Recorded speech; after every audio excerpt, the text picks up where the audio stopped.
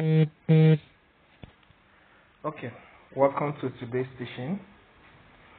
Today we are going to look into the solution to the question on how do you copy picture and paste it in Word Mobile. Okay, when we talk about Word Mobile, we're talking about the mobile app of Microsoft Word. Okay, so let's get it started. So this is my home page, my whole screen of my Android smartphone, which has the Word app installed on it. So I will tap on it.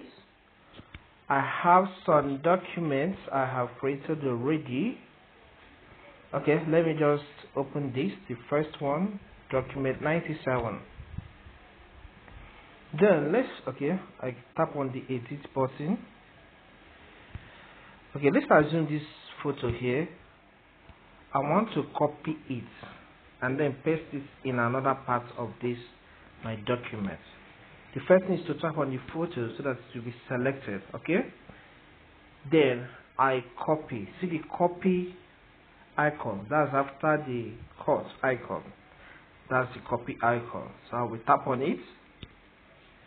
Okay, let's assume I want to paste this same picture before my main heading, which is how do you copy and paste a picture on Word Mobile. So I've clicked, I've tapped on the spot where I want to paste it. You can see the paste icon appear first. Then I'll tap on it for the copy picture to be pasted here. Good. So you can see the picture I copied has been pasted in another part of this Word Mobile. So it's as simple as that. And I believe this solves the problem. The solution, this provides the solution to the problem you want to solve on your Word Mobile. Thank you. Please don't forget to subscribe to my channel.